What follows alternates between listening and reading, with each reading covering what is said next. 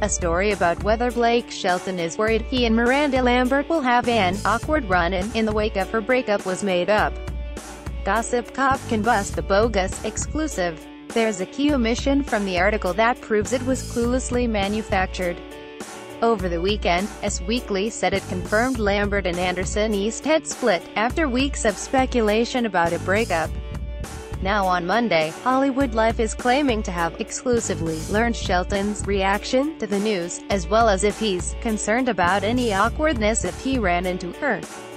A so-called source close to Blake is quoted as saying he can't stress about his ex-wife and doesn't want to know about her relationship with East ending.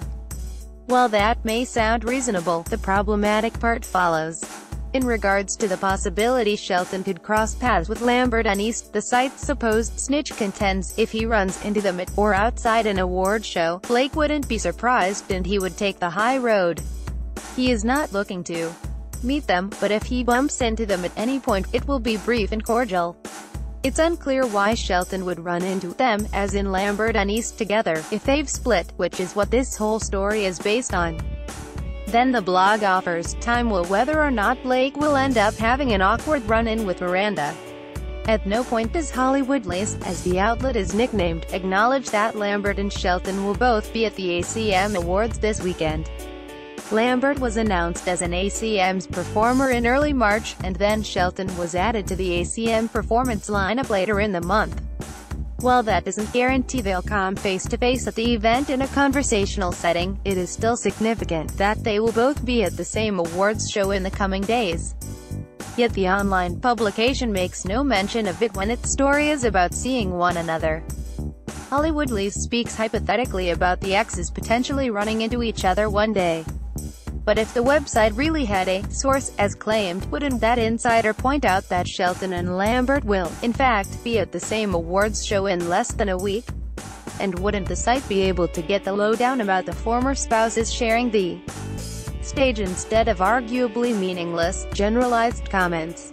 That Hollywood Life apparently didn't know enough to properly angle its story and include what would be pertinent information indicates not only that its source is fake, but also that the blog concocted this narrative just to capitalize on Lambert's reported breakup. Of course, now that Gossip Cop has pointed out that outlet missed an opportunity for a relevant story, we wouldn't be surprised if the publication suddenly claims to know in the coming days how Shelton and Lambert feel about both of them being at this weekend's ACMs.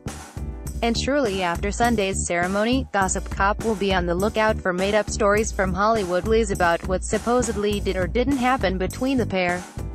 It's also worth remembering that Shelton and Lambert were both at the 2016 ACM Awards, as well as last year's CMT Music Awards. The website even ran a suspiciously similar headline last June about a potential run-in, see below. The site is recycling the narrative simply due to a change in Lambert's relationship status without any recognition of the fact that they've been in the same place before and will be again in just a few days. As Gossip Cop said above, it's evident this exclusive was manufactured by a rather clueless blog.